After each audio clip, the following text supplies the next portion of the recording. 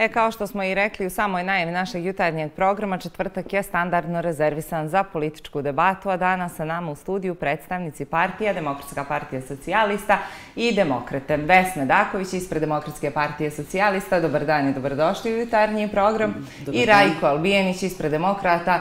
Dobro jutro i vama. Dobro jutro, hvala na pozivu. Evo, dobro jutro od mene. Da krenemo onda sa, sa nečim što je najaktualnije, to je formiranje manjinske vlade i već rešenje koje su poznate sa mjesta ministara. Ko želi dama. prvi dama? Dama, svakako. Evo, zahvaljujem se na uh, tom džentlmenskom pristupu. Što se tiče konkretno formiranja nove vlade, uh, ja mislim da je ovo bilo neizbježno rešenje. U principu, znamo da je prošla vlada napravila puno problema i definitivno uh, očekujemo od ove nove da mora biti bolja od one prethodne. Ja samo ono što želim da napomenem da je DPS i odmah nakon izbora nudi ovakvu mogućnost, znači formiranje manjinske vlade koju bi DPS podržao bez ulaska u vladu, upravo iz razloga što se očekivalo e, da takva vlada može stvoriti barem neke rezultate. Nažalost, e, vidjeli smo u prethodnih e, godinu i, i po dana, mnogo smo vremena izgubili. Imali smo jednu vladu koja je imala, dozvolit ćete, konstruktivnu grešku, jer smo imali ministre eksperte i po dubini, kako se to popularno zove, a odnosno na mjestima gdje je trebalo upravljati državnom administracijom koja nije nimalo naivna, političari. Tako da takva vlada nije mogla funkcionisati, ja se iskreno nadam, a mislim da svakome treba dati šansu, da ova vlada, ovakva kakva je, bez obzira na strukturu, bez obzira na sastav, mislim da svako zaslužuje šansu, ali da će biti dobra jedino ako na mjestima onima, znači svim ovim mjestima ispod ministarskih, jer ministarsko mjesto je, znate, političko mjesto. I to je čovjek koji je figura, trebalo bi da bude neka jaka politička figura koja može da vuče određene poteze, a na mjestima gdje se radi, a to je počevši od sekretara ministarstva, pa pomoćnika ministara, direktora uprava, pomoćnika direktora uprava i tako dalje, mora biti stručni kadar.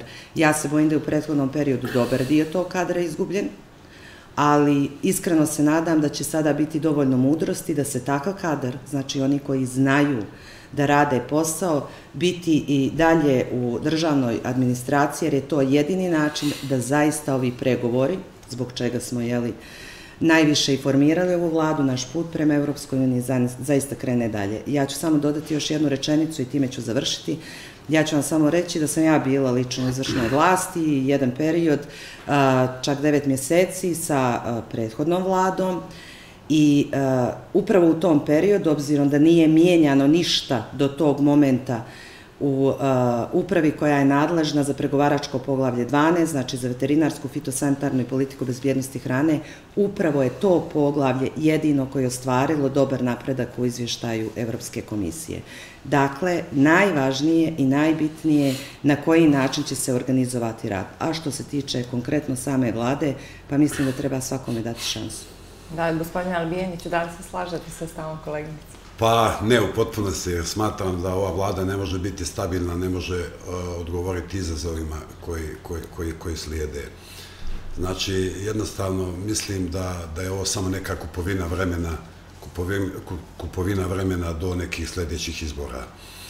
U svakom slučaju, uh, prohtjev je partija koje podržavaju tu vladu i koji, koje konstituisali su vladi će biti veliki, mislim da će tu biti uh, stalno neki sukob međupartijski sukob ovaj, e, i da će jednostavno premijer pokušavati tu da nađe neki balans balans u svemu tome da, da, da odgovori pozitivno i na jednu stranu i na drugu stranu. E, mislim da je neđe i pomenuo premijer Abazović da će e, jedan dio zakona podržavati DPS, da će drugi dio zakona podržavati SNP i URA.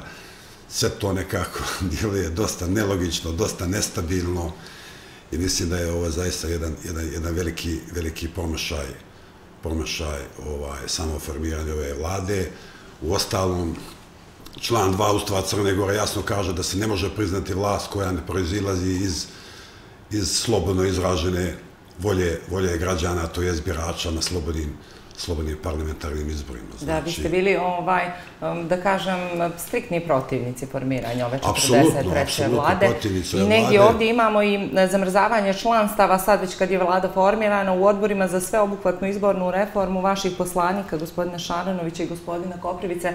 Pa da li je to negdje odgovor ovaj, vaš u suštini ispred demokrata na... na pa to je samo jedan dio, jedan dio odgovora. Mislim, E, gospoda Šaranović i Koprivica potpuno ispravan potez su napravili i donijeli jednu odluku, zamrzli su svoje članstvo u odboru za sveobuhvatnu e, izbornu reformu iz, mislim, iz dva razloga.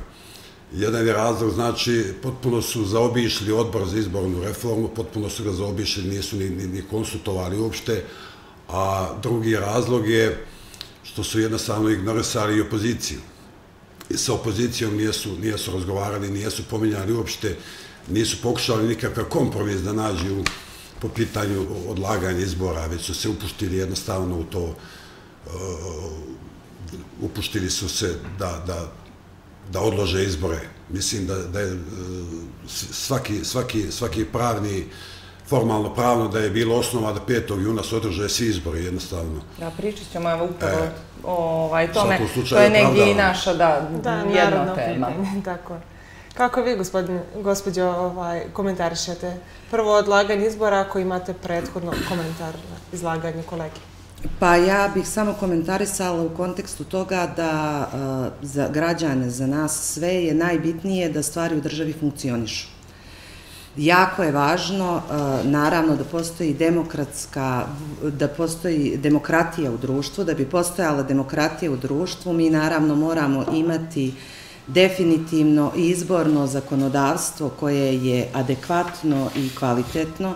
Zbog toga mislim da bilo koja od, e, bilo koja od tih e, mjera koja se preduzime da ne želiš da učestvuješ u nečemu nije dobra.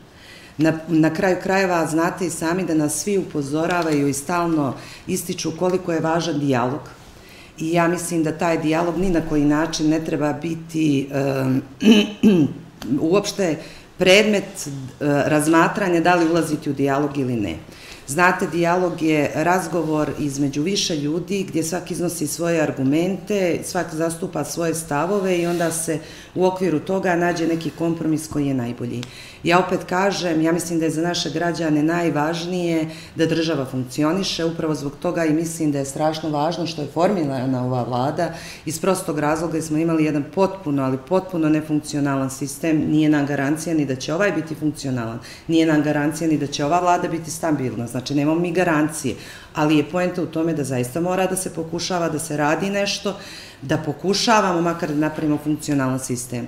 U tom kontekstu bih i komentarisala bukvalno svaki bojkot koji se dešava sa bilo koje strane, mislim da nije dobro rešenje, uvijek je mnogo bolje rešenje ući u dijalog, iznijeti svoje stavove, pokušati zastupati svoje stavove, dati dobre argumente i sigurno pokušati makar naći neko kompromisno rešenje. A zbog čega je teško doći do dijaloga? Zbog čega nijesmo u kraćem vremenskom periodu došli na neko kompromis i zajedničkog rešenja? Šta je problem u našoj zajednici? Mislim da je pitanje je vrlo kompleksno, da nijesam neko ko je kompetentan da može na to pitanje da odgovori, ali ja nekako polazim uvijek od sebe. I znate, kad želite s nekim da uspostavite dijalog, vi morate da sjednete da razgovarate. Evo, baš smo sad, prije nego što smo sjeli na ovu debatu, razgovarali prosto koliko ima, kako bih rekla, ružnih stvari u politici. Mnogo je ružnih riječi, mnogo je e, napadnih e, izjava, mnogo je nekorektnih izjava. E, ne, nikako ne mogu da razumijem zašto ljudi ne mogu da sjednu i da razgovaraju. Znači, pa prosto, Bog nam je dao mogućnost da možemo da sjednemo i da razgovaramo kao ljudi, imamo tu mogućnost, ne mogu da razumijem zašto bi se sve shodilo na nekakve, e, na nekakve, e, na nekakve e, ružne i nekakve ružne riječi, nekakve tvrde izjave. Svako nek iznese svoje argumente. Uvijek će oni argumenti koji su dobri pobijediti i uvijek će e, naći se neki kompromis za bilo šta. Tako da mislim da je to pitanje i za naš mentalitet, jer vi kad pogledate neki evropski parlament, vi vidite da tu postoji mnogo suočenih i različitih argumenta, ali su izneseni na jedan lijepi, kulturni način, gdje stvarno postoji kultura dijaloga. Tako da mislim da je to neki mentalitetski problem i mislim da zaista treba raditi puno na tome, ali Sa druge strane, neko ko predstavlja ovaj narod, političari, oni treba da budu prvi koji će pokazati kako se to radi, a ne baš suprotno. Da budu primjer, jasno. Upravo tako. Kako komentarišete odlaganje izbora za 23. oktober? Pa, opet kažem, e, nijesam pravnik po struci, nijesam kompetentna da bih mogla sa pravne tačke gledišta da to rastumačim, definitivno to je nešto što je u parlamentu odlučeno, pretpostavljam da tamo postoji dovoljno znanja da se takva odluka donese, tako da zaista nemam neki komentar po tom pitanju. Da. Gospodine Albijeniću, da li vi smatrate da se izborimo mogli ići ranije? Pa, formalno pravnog osnova nikakvog nije bilo da ni prepreke neke da bi se ovaj odložili ovi lokalni izbori. Dobro, dobro bi bilo da su svi u jednom danu, ovaj, e, ali smatram sama tendencija pada, pada izbornog povjerenja ovaj, kod građana što se tiče DPS-a od 30. augusta se nastavlja. Znači, posle augusta to je bio Nikšić, Pahjar, Crnovi, e, Cetinje, Petnica, Mojkovac, Bera ne vidimo, znači to je na veliki pad DPS-a. I smatram da u ovom momentu zaista im nije bilo ovaj, u interesu da se održe ovi lokalni izbori sada u junu mjesecu. Također, sa druge strane, smatram e, e, konstituentima ove nove manjinske vlade, e, građanskog pokretu i socijaličko narodne partije, ni njima nije odgovarali, odgovarali izbori u junu mjesecu, tako da su pribili, pribjegli to nekom, nekom, nekom vidu odlaganja izbora i na neki način bježanja od od e, samog izbornog procesa na kome bi svjesni bili apsolutno da bi e, doživjeli jedan, jedan kolaps, kolaps žestoki. U svakom slučaju, par mjeseci prije ili kasnije ti izbori su neminovni, tako da će oni pokazati jednu pravu sliku pravu sliku dešavanja trenutnog na, na političkoj sceni u Crnoj Gori i jednostavno daći neki sud o ovoj trenutnoj manjinskoj vladi koja je po mom nekom, nekom ubeđenju, ubeđenju većine građana u Crnoj Gori ovaj, vratila DPS na vlast, bez izbora. Evo, ono o čemu se mnogo govori, o čemu se mnogo govorilo u prethodnom periodu, jeste potpisivanje temeljnog ugovora.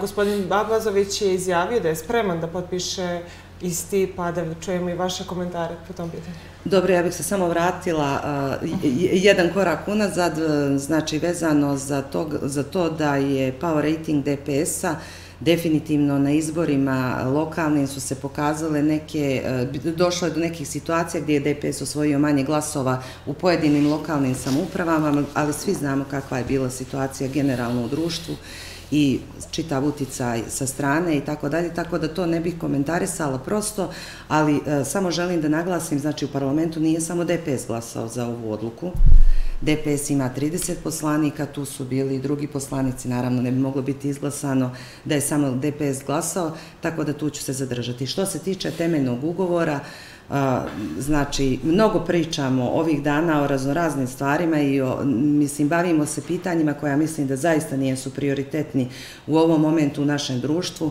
Tri ključne stvari o kojima mi pričamo i po, po cijeli dan, to su temeljni ugovor, to je popis stanovništva, to je Open Balkan. Ja bih razdvojila te tri stvari na sljedeći način. Što se tiče temeljnog ugovora i što se tiče popisa, ja ne vidim nikakav problem što se tiče te dvije stvari.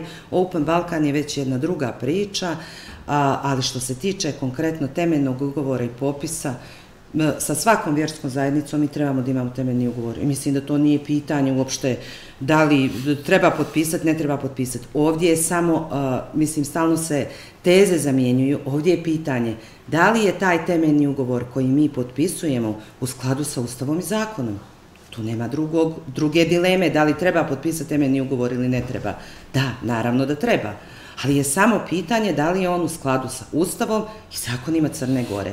Što se tiče, evo samo da dodam još vezano za popis, pa neću se baviti Open Balkanom, a, popis je zakonska obaveza. Da li treba da se donese zakon o popisu? Naravno da treba. Da li treba da se sprovede popis? Naravno da treba.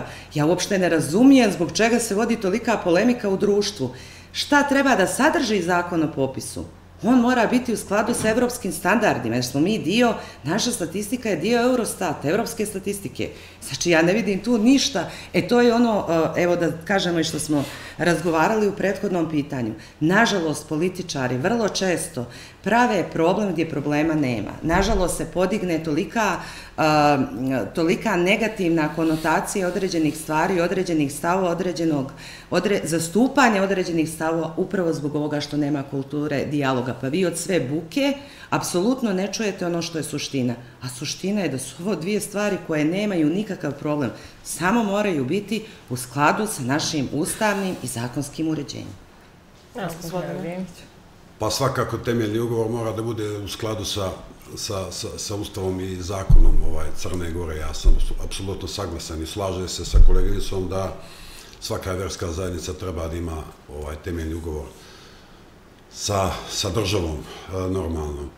Sad pitanje je ovaj, e, da li će i ova vlada potpisati taj temeljni ugovor sa crkvom, s obzirom da ni vlada Zdravka Krvokevića o kojoj se pričalo jednostavno o temeljnom ugovoru su toliko pričalo, nije ga potpisala. Mislim da ni ova vlada neće potpisati taj, taj temeljni ugovor sa, sa, ovaj, sa crkvom iz razloga iz razloga uh, sadržaj samog temeljnog ugovora, kakav će biti, da li će poslanici, poslanici DPS-a, da li će njima odgovarati taj sadržaj ovaj, tog temeljnog ugovora i da li će pristati dati zeleno svjetlo vladi za potpis temeljnog Da.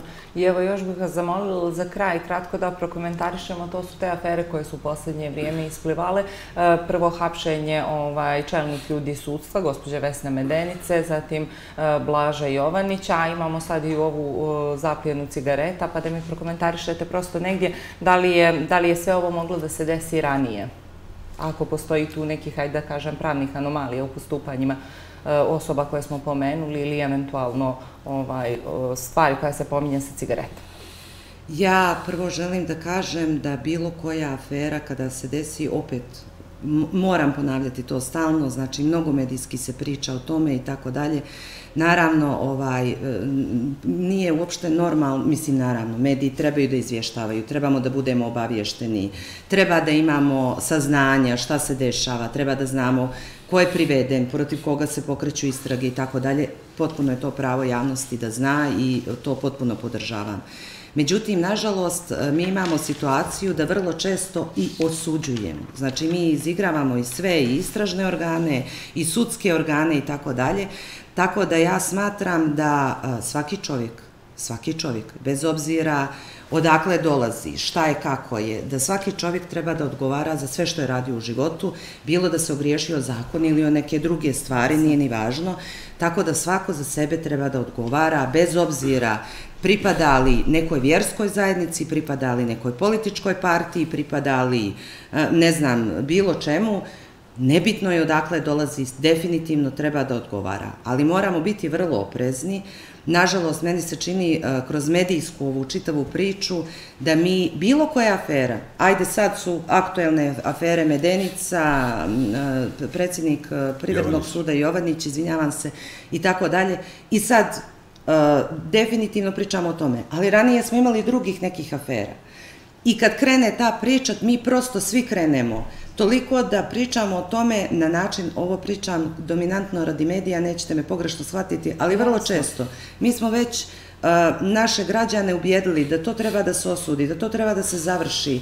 U principu dolazite u situaciju da bukvalno svaki građanin je već izgradio svoj stav o tome. Ja mislim da to nije dobro, upravo zbog ovog dijaloga. Razumijete? Nije dobro, prosto nije dobro, treba izaći E, obavijestiti sve šta se dešava. To je sudski postupak. U okviru tog sudskog postupka desit će se to, to i to. To, to, to, pardon, to, to i to. Treba pratiti taj sudski postupak. Možemo da imamo izvještavanje sa sudova, mislim, nije to ništa strašno na zapadu, znate da postoje suđenja, pa izvještavanja sa suđenja, pa novinari donose svoj sud, kako je izgledalo, šta je izgledalo, pri čemu on ne iznosi presude. Eto, u tom kontekstu, e, pošto znam da se bližimo kraju, evo samo da kažem, znači smatramo da svako treba da odgovara za ono što je uradio, bez obzira odakle dolazi i ne treba generalizovati stvari i ne treba presuđivati, e, nego puštiti državne organe da rade svoj posao. Da li je moglo ranije da se desi? Pretpostavljam da jeste, znači desilo se sada, vjerovatno zato što je sada prikupljen dovoljan broj dokaza, ja zaista ne, mnogo se i ne razumijem u taj istražni postupak, ali evo mediji su nas naučili i te neke stvari, očigledno da je taj izviđaj trajao jako dugo, nekolike godine e, i u jednom i drugom slučaju nakon toga je pokrenut postupak, pretpostavljam da je to e, bila ta procedura zbog čega se to desilo, a ne ranije, a ako nije, i za to neko treba da odgovara. Znači, opet kažem, lična odgovornost, treba da budemo svi svjesni da smo lično odgovorni za postupanja, a Boga mi ponekad i za nepostupanje. Evo, gospodine Albijanić, i vas da čujemo i da li je moglo da se desi ranije? Pa, mislim da je moglo ranije da se desi. Evo, imamo i nekih saznanja da je, da je Europol dostavio čak prošle godine, mislim u julu mjesecu, da je dostavio neke podatke što se tiče gospođe Medenice, što se tiče ovaj, uh, policajaca Lazovića, Milovića. Sad interesantna je stvar zašto niko, niko od prošle godine, od, od jula mjeseca nije reagovao po ovom pitanju. Jednostavno nije uopšte jasno, postavlja se pitanje zašto, kako, zbog čega nisu reagovali. I prošle godine ovaj e, bezbjednostni sektor bio u 42. vladi bio u rukama gospodina Abazovića, koji je sad premijer, tada je bio vicepremijer, čovjek koji je bio zadužen za čitav bezbjednostni sektor ovaj Crne Gore. Zašto tada nije reagovao? Zašto tada nije hapsio Medenicu Jovanića, Lazovića, Milovića? Mislim, jedan, jedan opšti haos, znači, to su neke stvari, činjenice na koje smo više godina unazad ukazivali svakodnevno, ali sve to nekako skrajne se, zatoška se, jednostavno pitanje je bilo koliko je efikasno podnositi neke krivične prijeve. Znači, svjesno podnosiš krivičnu prijevu, znaš da neće proći. Izađe gospodin Katić, malo skečeva, malo smijanja na, na televiziji sa novinarima, ovim oni kaže nema udaljenih sumnji, nema, izviđaja smo radili, nema udaljenih sumnji, šta, to je jednostavno, to, to se zove abolicija. Jednostavno abolira, e, tog momenta abolira te ljude, podnešena je krivična prijeva, odbočena je krivična prijeva i šta, gdje si bio, šta si radio mislim da je moglo mnogo ranije da se da se djeluje po ovom pitanju, ali evo ni sad nije kasno, velike nade polažemo u novi novi ovaj e, tužilački savjet u novog glavnog specijalnog tužioca Novovića koji je krenuo zaista evo krenuo je fino, daj Bože da nastavi ovako da se procesuiraju svi ljudi koji su griješili u zakon, da zakon bude jednak za sve, da se pohapse kriminalci, lopovi, da se jednostavno oduzme njihova imovina, da se ta imovina vrati u legalne tokove, u državni budžet, da, da se pravosnaž dosude svakako uz pretpostavku njihove nevinosti koje bi dokazali, dokazali na, na, na, na sudu. Evo vidimo policajac 48 miliona eura na računu, znači otkud, kako, šta, cigare, droga, banane, uvoz, haos, jedan opšti haos u državi, zaista gdje, gdje su potrebni, potrebni ovaj, e, ljudi koji će se ozbiljno pozabaviti e, tim temama, jednostavno da dozvole građanima da živimo u normalnoj državi, u sređenoj državi, u, u, u vladavini prava. Evo iz, iz ovaj, iz e, o pregovorima o proširenju ka Europskoj uniji, znači prva dva poglavlja 23 i 24 otvoreno su zadnja će biti zatvorena, ako su uopšte zatvore Znači, opet u njima se vežu se i pominje se ta vladavina prava, slobode, bezbjednosti i tih stvari. Da, jasno. Gospođa Daković, gospodine Albijenić, hvala vam na gostovanju. Izvinjam se, samo jednu rečenicu. Jednu rečenicu, jer već kasnimo, izvolite. Znači, samo sam htjela da kažem, uh, iako ovo sve navodimo kao činjenice, ipak su to naše saznanja sve iz medija. Ja se bojim da mi zaista ne znamo šta je pisalo u svim tim spisima koji su dostavljeni i sve ove informacije opet su iz medija. Znači, samo da budemo oprezni u tom kontekstu, jer uh, mi to sve prihvatamo kao činjenice. Jasno, ja na stanu medija, jer prosto imamo tu i nekih ozbiljnih ljudi koji se zaista Vrlo vjerujem, ali ozbiljno. Ovo nije ništa, da, da, ne, nemojte pogrešno negdje, shvatiti, ovo nije su argumenti protiv medija, nego kažem da informacije koje mi kao građani imamo, mi ih dobijamo kroz medije. I kažem sve ovo što dobijamo kao informacije, kada su pristigli podaci, šta je preduzimano i tako dalje, mi dobijamo Jasno. te informacije kroz medije tako da ne možemo ih smatrati činjeničnim stanjem. Mogu ja da.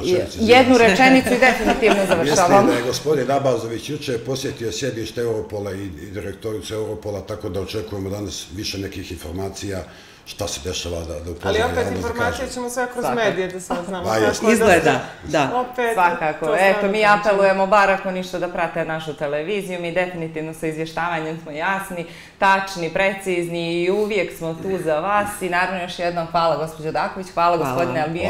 Mi se Hvala. vidimo naravno i u nekoj drugoj političkoj debati.